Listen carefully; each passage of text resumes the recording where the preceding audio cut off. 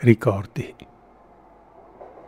Il vento spazzava la strada.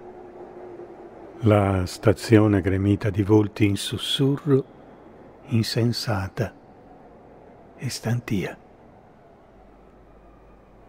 Fu il saluto complice a suggellare l'abbandono. Ti lasciai quando anche la valigia aspettava con ansia l'arrivo del treno, con l'eco dei passi a seguirmi. Ed il cuore fu muto per sempre.